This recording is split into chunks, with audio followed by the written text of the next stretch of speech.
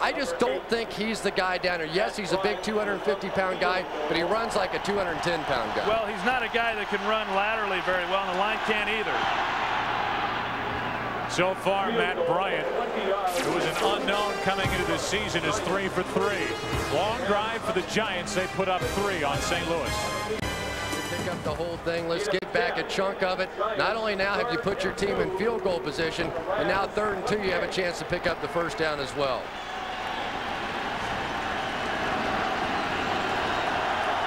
And if they run it, the guy in charge of trying to get that first down will be Ron Dayne.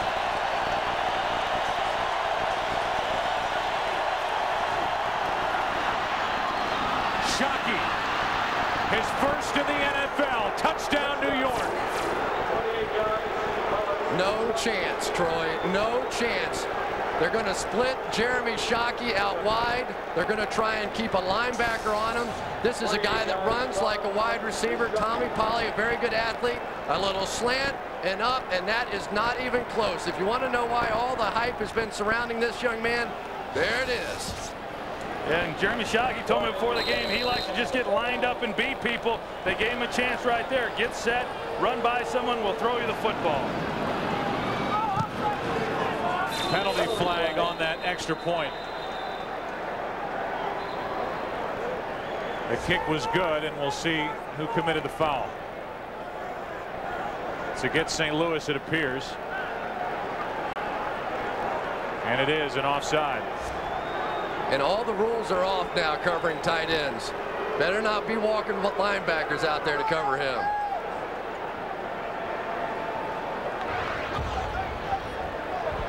Offside. Defense, the nose guard.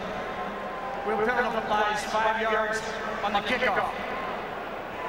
The kickoff after the touchdown. There are cornerbacks who can't cover this guy, let alone linebackers. You know why they love him.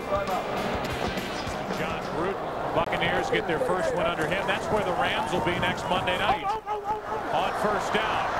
Time for Warner, not anymore, and it's Holmes who wraps him up. There was time there, but no one to throw to, and Kenny Holmes gets his first of the year. Well, and that's the guy who they've been waiting for something to happen. Kenny Holmes right here, right defensive end. He's the one who was there last year. They brought him in from Tennessee. He had two and a half sacks last year. With the attention that Michael Strahan gets and the attention that Keith Hamilton gets inside, he oftentimes is single being blocked by one guy, and he has got to make more of a contribution this season and have an impact for this football team.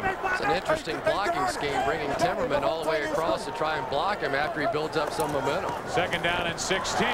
Strahan coming off the corner. That pass is tipped and picked off by Sehorn. Jason Sehorn. Touchdown. Touchdown, New York, a 30-yard return.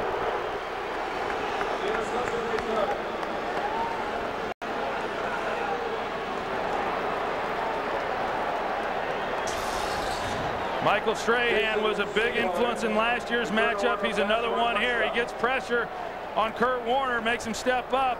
That ball's deflected. Jason Sehorn able to traverse and get back on that ball and take it in for a touchdown. And these Rams right now have not shown the emotion that they have not shown the last two weeks, and everybody thought they'd come out a little bit more spirited than what they have. Maybe they're just not that good.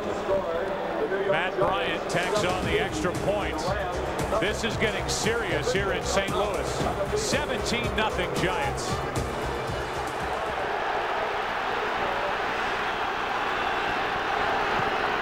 Field goal attempt is good. A 32-yard try. And the reason that Mike Martz doesn't challenge in this situation is because he cannot. Once that whistle is blown, you can no longer challenge. That's a bad call. Giants lead by six. The day for Warner, 202 yards. The interception came on a tip pass. First down, Warner loses the ball, and the Giants take over. The Giants take over. And again, you wonder if that hand for Warner is okay. Well, you do, and, and in pregame warmups, Joe, watching Kurt Warner take snaps before the game, he fumbled a snap during the pregame warmups. You watch right here. It looked like the ball came up. You never really know in those situations on quarterback center exchanges, but you got to wonder after the pass on the previous play and then putting this ball on the ground. And if you would have thought a game deciding play would have been a quarterback fumble on a snap, you probably would have thought it would have been Kerry Collins and not Kurt Wolf. Terrific football game here today as well. So far, Matt Bryant is four for four in the NFL.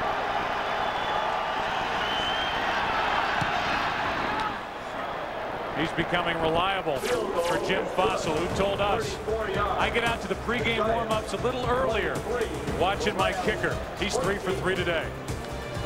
To. But you can't feel too comfortable if you're Jim Fassel giving the ball back to the Rams and a touchdown beat you.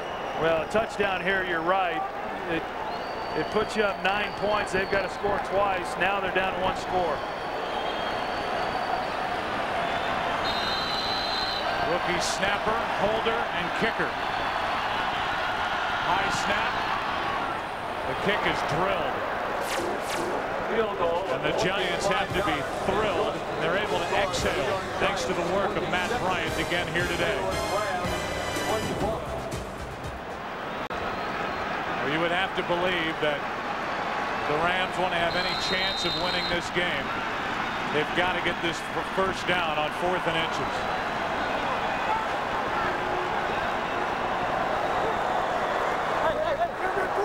Tight formation behind Warner.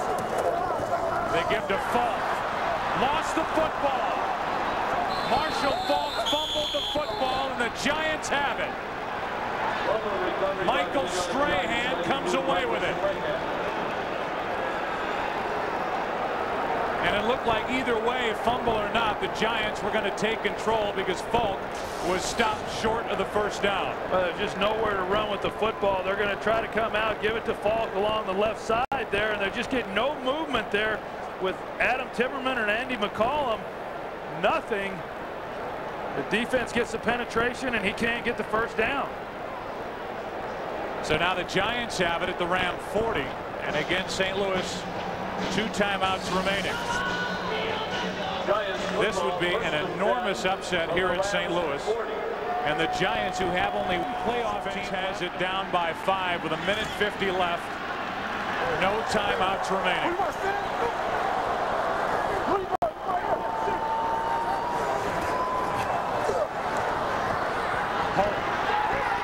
Was intended for him, and it was picked off by Peterson. Behind Holt, Peterson the interception, and the Giants will take over.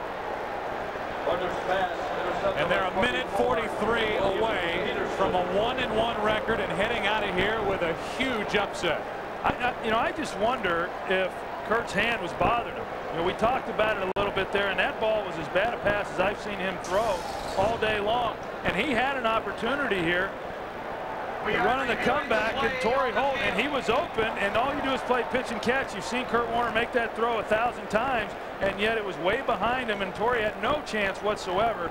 And you just got to wonder if maybe the hand is a factor. Well, you know, he does try and throw that ball before the receiver breaks, and if the receiver breaks off the route a little bit earlier, it's not exactly where it is.